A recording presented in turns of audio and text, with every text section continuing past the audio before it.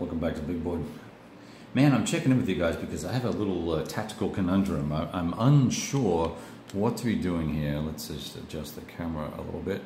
So there's this situation where Russians have to move forces from A to B, you know.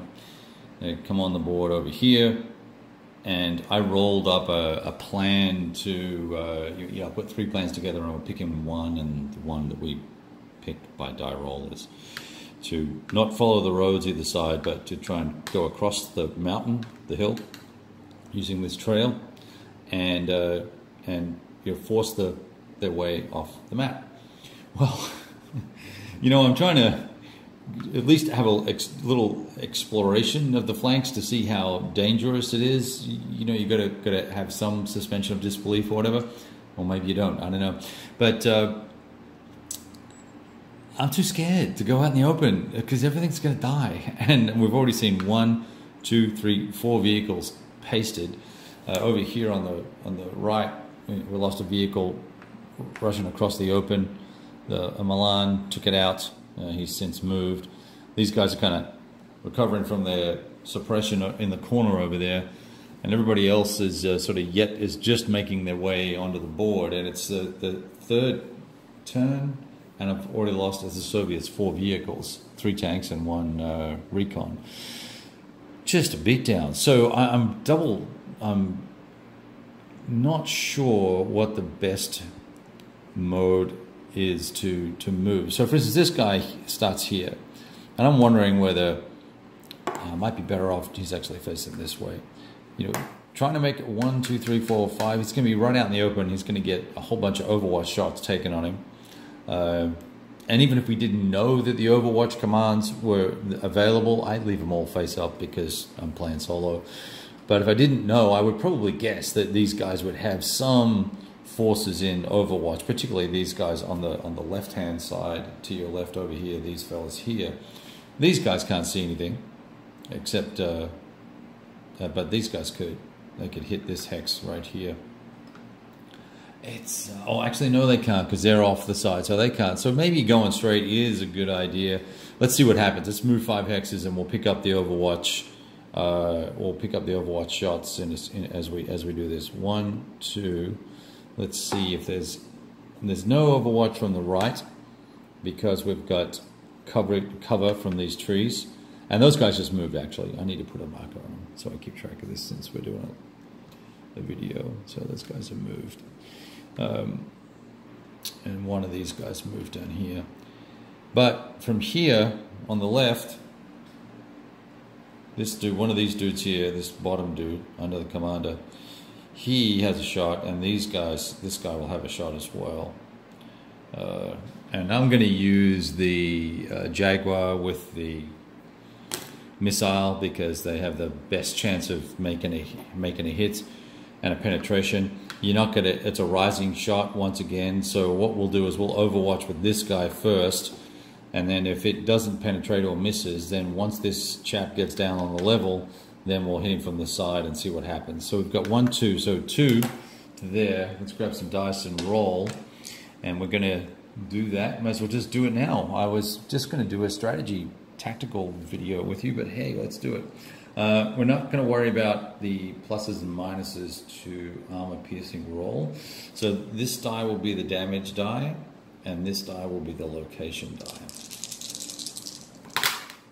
So I rolled a 37. That's going to be a hit. It's going to be on the 2 spot, and we roll a 1 for damage. So we don't even need to look.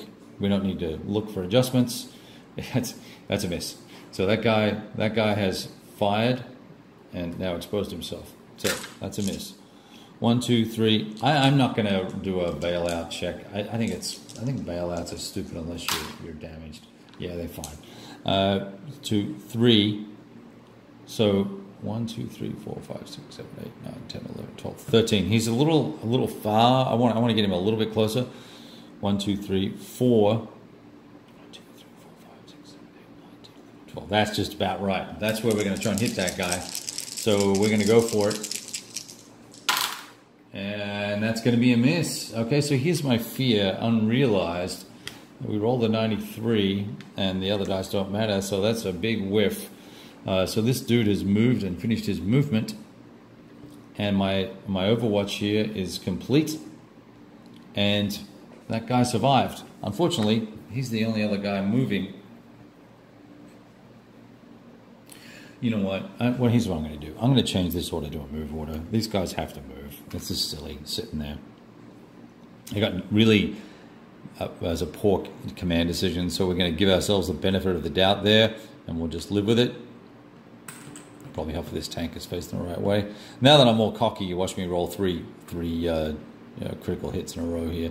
So we're going to go one here, and I'm going to look for opportunity fires. And this, does that Marder have a, uh, a weapon?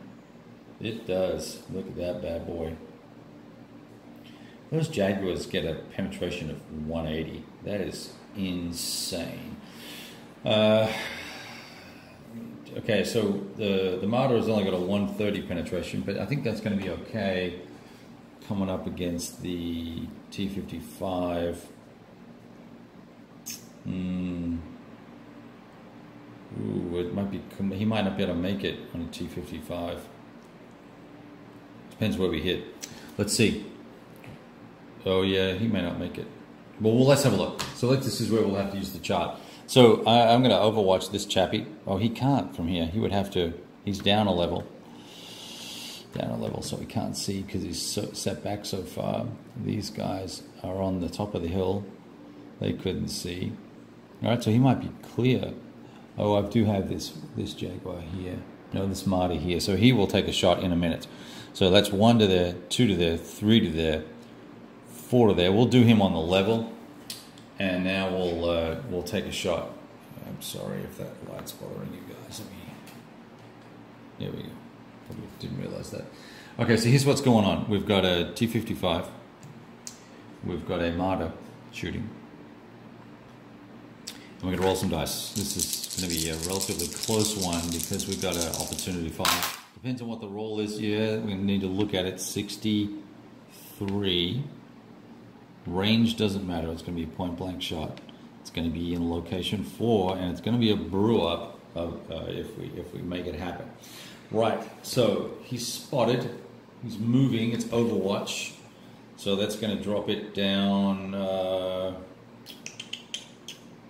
target moving, going to drop it down minus one. And then we do have the plus one for the NATO target acquisition bonus. So on a point blank makes it an 81. I rolled a 63, so we're good for a hit. That means we're going to hit it on location four. Location four is going to be, I'll just hold this here so you can see it. Location four, uh, coming in from the front side, is going to be turret side 3-4 turret side. I'm calling that side. Let me just check my little diagram. I've got a little diagram I use to, to spot for that. Yeah, definitely a front side. Probably right. Yes, front side. And then, so now what I need is the, the CE value. So we're going to go level turret side. It's only 35. So even with the benefit of this the CE armor, which I'm I'm I need to roll for. I'm going to roll to make sure there's. Uh, shoot, I dropped. I rolled a ten.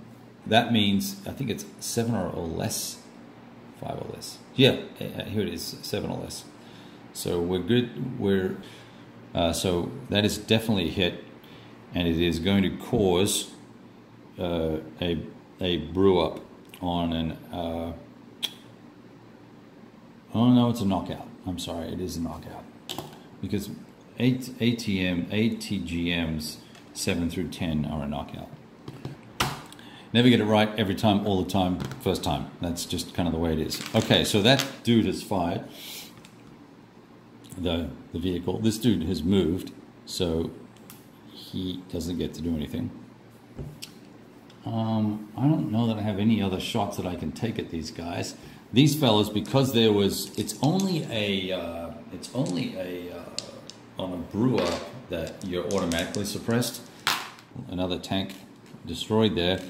And now we're going to have, we would have to go and check our losses and see how many, uh, this is going to affect the number of units we have available, which is going to affect the number of commands we have, and may actually force us to the break point where we will now have to have to start rolling for hesitation, and that's going to impact, it's going to uh, provide a modifier for pretty much every die roll if these guys uh, get into that break point uh, of the game. And they're pretty close because they've lost uh, one, two, three, they've lost four out of nine tanks and a scout.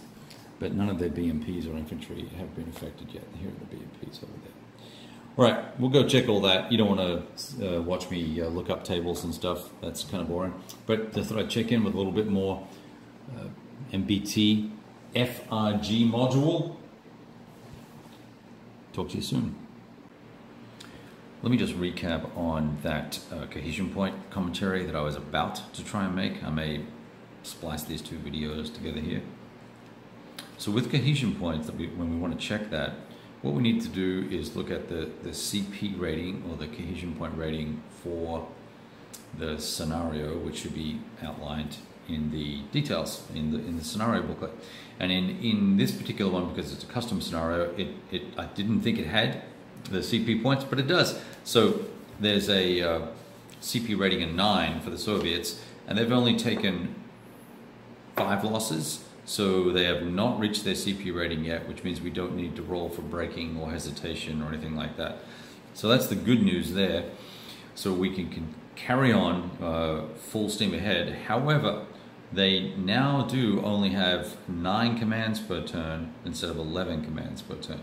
Uh, I don't think that's going to affect them too much because they're in some fairly uh, decent sized stacks and they have to be close together to have commands shared and stuff like that anyway. All right, thought I'd share that with you. Ciao.